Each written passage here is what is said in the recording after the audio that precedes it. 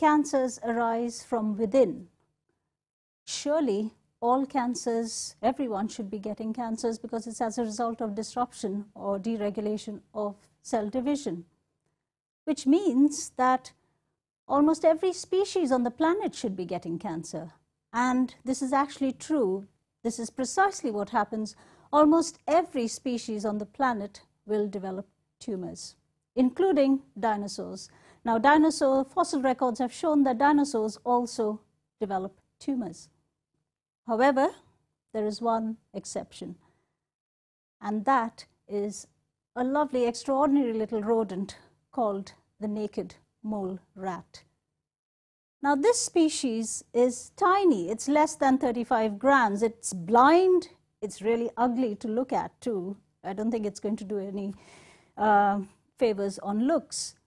And it lives underground, but it's got an extraordinary long life. It lives for more than 30 years, and for the size of the animal, that's really, really long.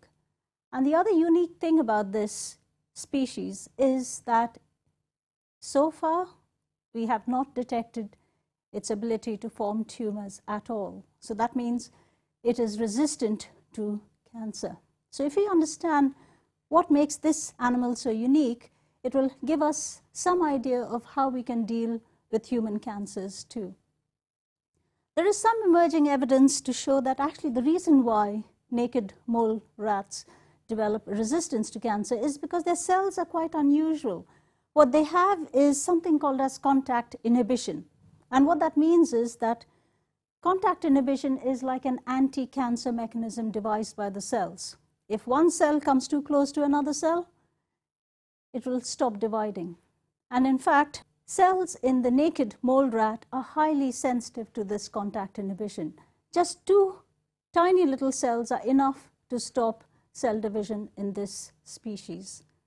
So if we have a handle of understanding how cells divide in the naked mole rat, this will help us understand how to uh, how cancers originate and how we can treat cancers in humans too.